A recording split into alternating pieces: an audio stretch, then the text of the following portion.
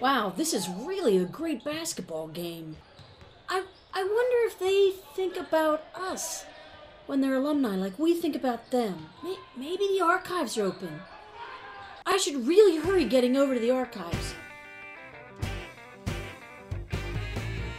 Maybe I could find the hats, the hats. That would be it, the hats. Wow, it's the archives. I'm so excited to be here. Oh, it's so quiet compared to that game. It was so loud. but you everybody was so. Um, um, yeah, I'll find the light. I'll find the light. Thank you. There's so much history. Beaver College and Arcadia. No, that's not an orientation hat. Look at this typewriter. Wow. There's very cool stuff here. Boxes for the art gallery and honors convocation.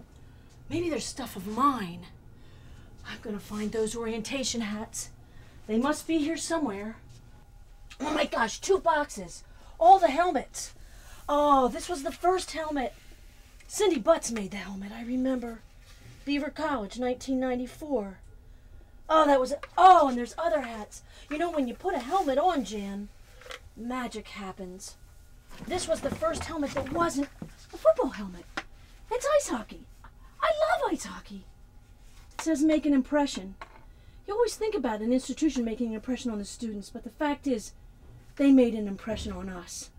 They changed this place, every one of them. And yeah, Arcadia 360. That was a special year, too.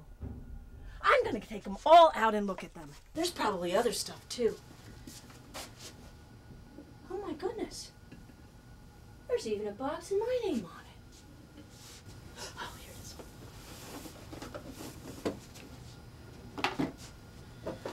Was such a spectacular time.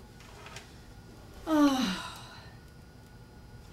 Opening day was always extraordinary, but the gym, everybody, when everyone was all over the gym and making noise and cheering and wow.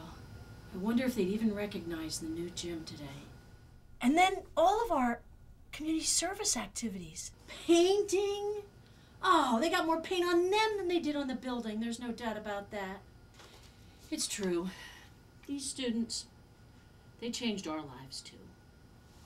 I'm very tired.